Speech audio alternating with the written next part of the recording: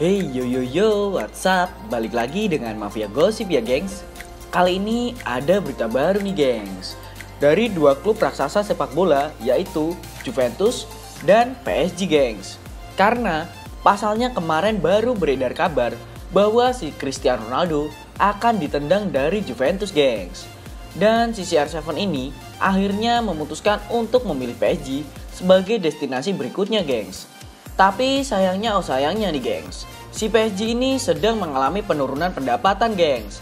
Padahal si CR7 ini sudah menjadi pemain incaran PSG sejak tahun 2015 lalu loh gengs. Ini adalah kesempatan baik bagi PSG untuk mewujudkan impiannya tersebut. Namun, karena sedang dilanda krisis pendapatan, PSG bimbang nih gengs. Karena mau tidak mau, si PSG ini akan merelakan salah satu dari dua pemain terbaiknya gengs. Yaitu Neymar dan Kylian Mbappe untuk ditukarkan dengan si Om Ronaldo gengs. Hal ini mau tidak mau harus dilakukan oleh si PSG gengs.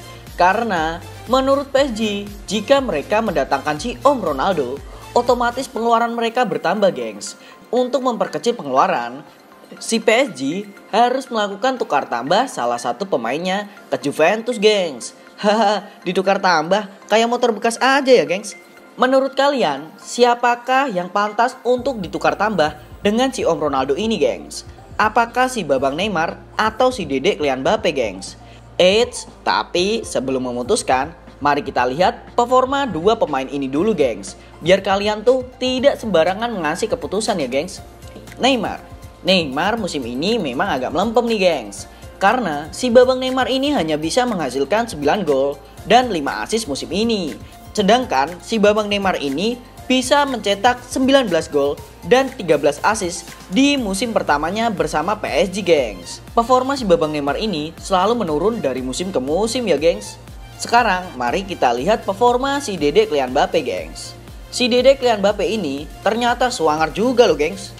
Di musim ini si Dede Kylian Mbappe mampu menghasilkan 27 gol dan 7 assist loh gengs.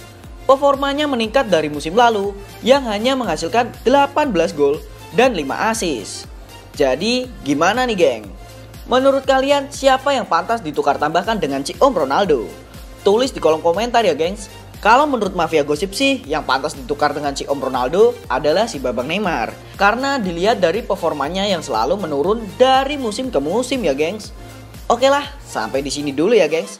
Jangan lupa like, komen, dan subscribe channel ini biar kalian gak ketinggalan berita-berita terbaru lainnya ya gengs. Oke, sampai jumpa di video selanjutnya.